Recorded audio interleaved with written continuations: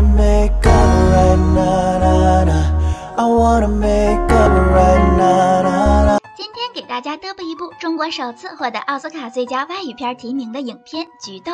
本片讲述在十年的时间中，三代四人之间的剧烈情感冲突，展现出他们各自痛苦的内心世界以及彼此之间纠葛的爱恨情仇。故事发生在上世纪二十年代的旧社会，老胡开了一家染坊，身体有缺陷的他在折磨死两位太太之后，为了延续香火，便花大价钱买了一个年轻女孩小菊。小菊白天在染坊干活，晚上便成为老胡折磨的对象。而老胡的侄子光头哥却对每天饱受摧残的小菊产生了怜悯，但他却对叔叔的暴行敢怒不敢言。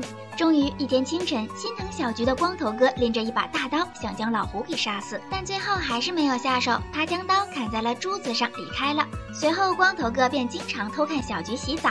却不知，其实早被小菊发现。小菊故意将布满伤痕的身体给光头哥看，并向光头哥哭诉他受到的非人折磨。一天，小菊趁老胡外出时，偷偷的去光头哥房间里找他，但犹豫不决的光头哥并没有给小菊开门。第二天，小菊再次勾引光头哥，这一次光头哥最终没能把持住自己，于是两人便在染房边翻云覆雨起来。不久后，小菊生下了一个男孩狗蛋。此时，老胡欣喜若狂，他觉得自己终于有后了。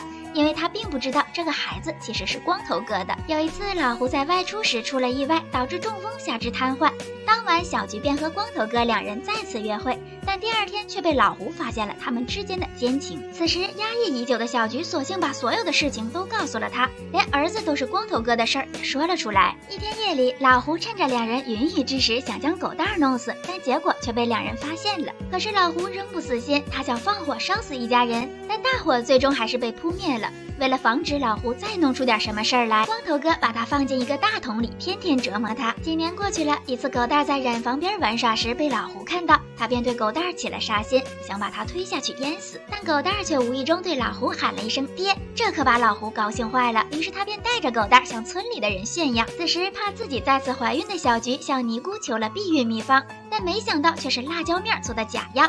痛苦过后，竟然也令小菊无法再生育了。一天，狗蛋在玩耍的时候，把老胡弄到了染池里，导致老胡溺水淹死。在办完丧事后，按照家族中的规矩，光头哥必须搬出染房。为了避嫌，他和小菊只能偷偷的在山里野战。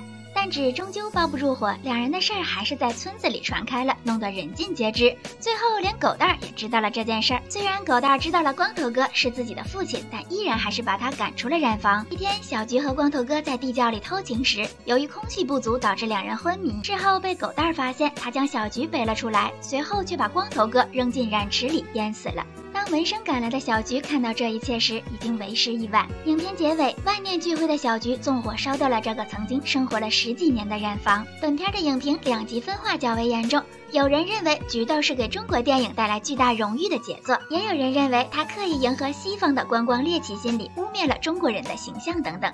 总之，小五认为。